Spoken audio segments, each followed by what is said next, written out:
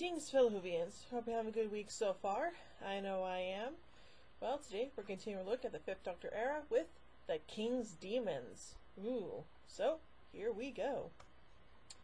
In 1215, the court of King John of England is at the castle of Sir Ranulph Fitzwilliam to extort more taxes, and when the lord refuses to pay, the king insults him. To defend his honor, his son Hugh takes on the king's champion, Sir Giles Estram, in a joust. The latter wins easily, though the joust is disturbed by the arrival of the TARDIS. the Fifth Doctor, Tegan, and Turlough are greeted as demons and welcomed by the king. Okay. Having established a date, the Doctor concludes the king is not himself.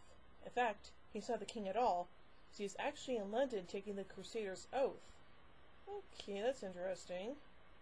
Sir Geoffrey de Lacy, the cousin of Sir Ranulph, arrives at the castle and confirms he knows the king is in London. Sir Giles is about to torture him as a liar during as a liar during a royal banquet when the doctor intervenes. It seems the king's champion is not who he claims to be either. Sir Giles sheds his disguise and reveals himself to be the doctor's nemesis, the Master! Bum bum bum! He flees in his own TARDIS, which has been disguised as an Iron Maiden. Not to be confused with the band Iron Maiden. There's a difference. The king knights the doctor as his new champion, he is given and he is given run of the castle. After a series of mishaps, including the death of Sir Geoffrey at the Master's hands, the Doctor confronts the King and the Master discovers the truth.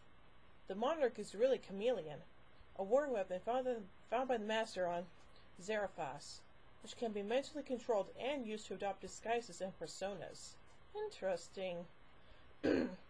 Disguised as King John, the master intends that Kamelion will behave so so appallingly as so as to so as to provoke a rebellion and topple the real king from his throne, thus robbing the world of Magna Carta, the foundation of parliamentary democracy.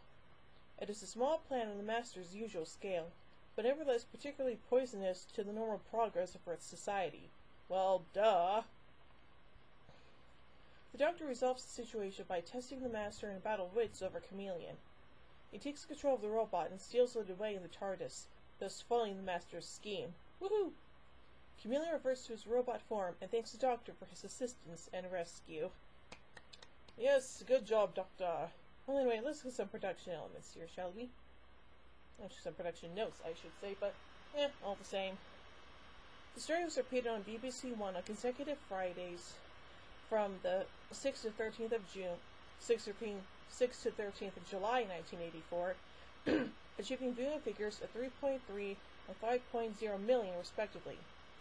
The working titles for this story were The Android, The Demons, A Knight's Tale, not to be confused with the movie, and Demon's Keeper. Part 1 of the story was billed by the BBC as the 600th episode of Doctor Who. Interesting. This story marked the first appearance of Kamelion as voiced by Gerald Flood. Freelance effects designer Richard Gregory and software designer Mike Power gave a demonstration of the robot prototype for Nathan Turner and Saward. Nathan Turner was so impressed he commissioned scriptwriter Terence, De- Terence Dudley to develop a storyline to introduce Kamelion into the series. Shortly after filming, however, Power died in a boating accident and no one was able and no one was able to continue his work. Well, that sucks. Subsequently, Kamelion made only two appearances before being written out of the series. In this story, the Master disguises himself as Sir Giles Estram, Estram being an anagram of Master. Hide Ainley's return, Sir Giles is credited in the Radio Times as, as having been played by James Stoker, an anagram of Master's joke.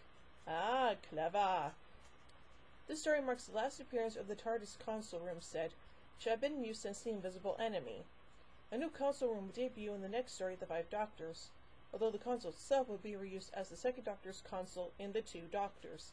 Huh, interesting. So overall, this is a pretty good story and introduces Kamelion, although we would barely see him at all. So, yeah. Anyway, so overall, I give The King's Demons three sonic screwdrivers out of five. Well, join next week as we take a look at the 20th anniversary special, The Five Doctors. So, until then, this is Whovian Queen saying, Oh my Gideon! When I say run, run! I've a spell with the neutron flow. Would you like a jelly baby? Fantastic! Allons-y! Geronimo! Bow ties are cool, fezzes are cool, and Stetsons are cool.